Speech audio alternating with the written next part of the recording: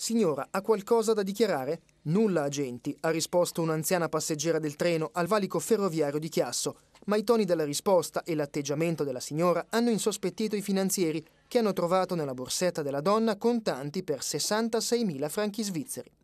L'episodio risale a ieri. I militari della Guardia di Finanza in servizio alla dogana ferroviaria di Chiasso hanno controllato una ottantenne di origine italiana domiciliata in Svizzera.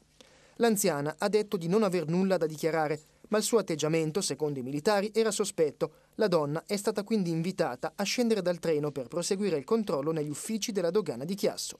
Nella borsetta della signora ottantenne i finanzieri hanno trovato tre buste contenenti mazzette di banconote per un totale di 66.000 franchi svizzeri, pari a circa 54.000 euro.